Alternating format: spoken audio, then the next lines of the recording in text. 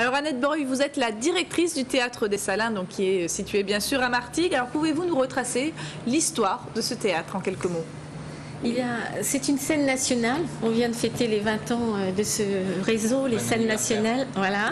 Mais c'est pas les 20 ans du théâtre des Salins, c'est les 20 ans des scènes nationales. D'accord. C'est-à-dire des outils qui étaient à la fois, qui sont à la fois euh, euh, subventionnés par les villes, mais aussi par l'État, le ministère de la Culture et puis région, département. Et euh, donc, euh, il y a une préfiguration. Euh, il y avait une programmation qui se faisait dans un gymnase qui s'appelait le Gymnase des Salins. Et le théâtre a été construit dans les années 90 et ouvert le 25 janvier 1995. D'accord, donc il a 15-16 ans. Voilà. Combien de spectacles accueillez-vous chaque saison? Entre, Oui, autour de 50 spectacles par an. Oui. Et c'est une salle qui, compte combien de places à peu Elle près? fait pas tout à fait 600 places. Euh, ça dépend si on met Bien sûr. Euh, les, dispositifs scénographiques qu'exigent les artistes. Alors Elle est vraiment euh, formidable sur le plan acoustique. Hein, voilà, c'est ce que j'allais vous dire. C'est une salle qui est très très belle et qui a cette particularité d'avoir un plafond acoustique extraordinaire.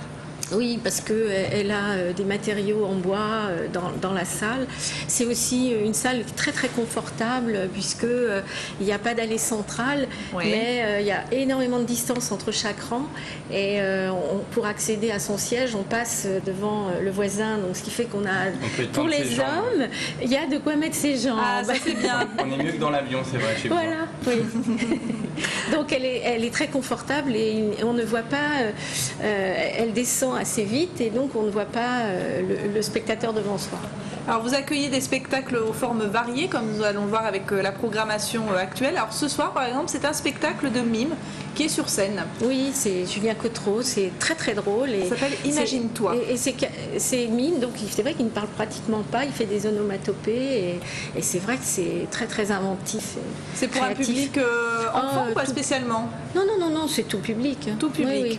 On est très éclectique, c'est vrai. on va de la danse, du théâtre, du cirque, euh, de la musique, euh, toute Demain, c'est de, la danse là pour le jeune public. C'était mentionné ça fait déjà depuis. C'est la deuxième semaine euh, d'un petit spectacle pour enfants, pour tout petits. Chose. Chose.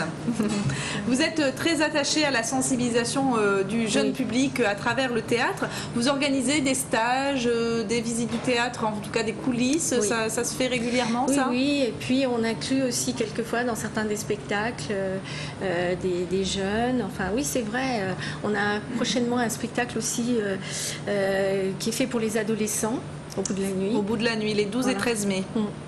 Euh, et, c'est vrai que c'est euh, c'est un spectacle euh, sur le, la drogue, mais c'est une histoire qui finit bien parce que je, trouve qu'il faut montrer des combats gagnés. Mhm. Et là, c'est un combat gagné contre la drogue d'une jeune femme qui est descendue assez loin et qui finalement est remontée. Et ça donne de l'espoir à tout le monde. Elle est maintenant élue en Suisse, élue politique en Suisse. Donc c'est quelqu'un de voilà.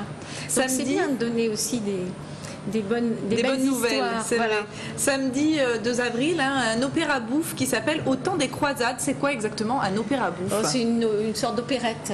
Voilà. Mais c'est très très drôle parce que c'est l'alliance entre une troupe euh, d'opéra, d'opérette qui s'appelle Les Brigands, qui sont passés pas mal hein, dans la région euh, mhm. marseillaise. Moi, je les ai accueillis depuis longtemps, mais d'autres théâtres Marseille, de, Marseille les ont accueillis. Ils se sont associés avec une, euh, une compagnie de rue très drôle qui s'appelle Les 26 000 couverts. Et ça fait une chose absolument inénarrable, très très drôle. Il faut venir voir. Autant des croisades. Et vous avez aussi à cœur de faire connaître des auteurs à travers le théâtre. C'est le cas par exemple les 3 et 4 mai avec euh, Christine Le Tailleur qui met en scène Hiroshima, mon amour, mm. bien sûr, de Marguerite Duras. Est-ce que d'autres œuvres littéraires vont encore venir sur vos, planches du théâtre du, des Salins Vous en avez fait, d'autres euh, déjà? On l'a fait tout au long de la saison. Hein. On a accueilli euh, Sous le volcan de Guy Cassier qui était à partir du livre de Malcolm Lowry. Et, là, Hiroshima, il y a Catherine Marnas la semaine dernière qui a mis en scène Ligne de faille de Nancy Houston, qui Très beau absolument livre. Oui, magistral. Mm. Le livre est extraordinaire. extraordinaire. Et elle en a fait vraiment une adaptation magnifique qui a eu lieu, l'intégrale a eu lieu euh, samedi dernier. Et c'est vrai que euh, le, public sortait absolument enthousiaste de cette saga euh, extrêmement enthousiasmante, mais en même temps grave. C'est vrai qu'en plus c'est un livre, je vois bien, qui se prête au théâtre, hein, pour la construction elle du est en quatre chapitres. Tout à fait, avec chaque un personnage voilà, à chaque fois. Et, dans des époques différentes et qui revisitent l'histoire du XXe siècle. Ça doit être très chouette. pour finir, vous accueillez aussi des concerts. Hein, c'est le cas le 15 avril avec Carimouche que l'on pourra écouter sous votre plafond acoustique. Oui.